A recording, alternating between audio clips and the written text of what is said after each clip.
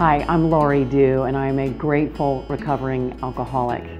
If my face looks familiar, that's because for about 15 years I was an anchor on CNN, MSNBC, and Fox News Channel. And for the last several years, as my recovery has continued, so has my role in the recovery community. Now I'm really proud to say that the focus of my life is recovery. I was a pretty good girl in high school. I wasn't one of those girls who partied every weekend, and that's because I had very strict parents who kept a very close eye on me. And so I didn't have a lot of opportunities to go out and get wasted on Friday and Saturday nights.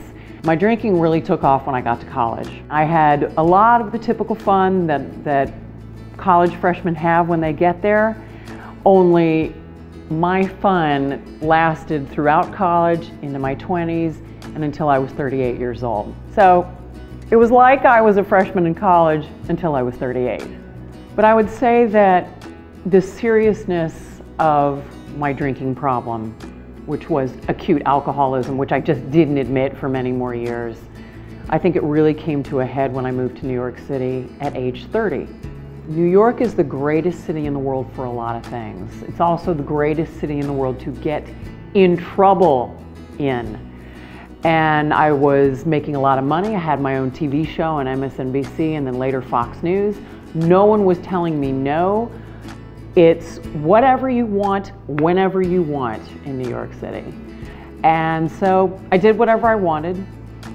Somewhere along the way, after I'd been in New York for two, three, four years, I realized that alcohol had gone from something that was fun for me and something that I enjoyed to something that I needed and something that I became addicted to. And I saw alcohol as the solution to my problems. I saw it as the greatest gift I could give myself. N then, of course, the solution to my problems became the problem. And by then, for me, it was too late. I was already in this thing very heavily. Believe me, there were a lot of days where I did sleep on the floor of my office, curled in the fetal position, unable to lift my head up. When, when people saw me on CNN or Fox News Channel, I had no idea that I was living this secret life and this double life. But I was, and so many people are who have this disease. The disease of alcoholism can be the thing that ultimately turns your life around. March 14th, 2007 is the day I saved my own life.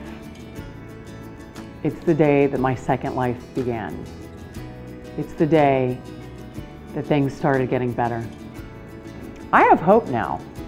I have dreams now. I have dreams that I am actually accomplishing because I'm sober. And when I look in the mirror now, I really like who I see. I've never been happier in my life, and that is the God's honest truth. I am 43 years old, and I've never been this happy. It has taken me a really long time to get to this place, but I have an incredible amount of joy, and it is primarily because I don't drink. I believe that every time a person in recovery shares his or her story, they're creating an environment that is free from shame or embarrassment or guilt. I know that by telling my story, I'm helping you. I know that by telling my story, I am chipping away just a little bit at the stigma. I know that by telling my story, I am climbing a very high wall and when I get to the top of the wall, I want to let everybody know that help is out there.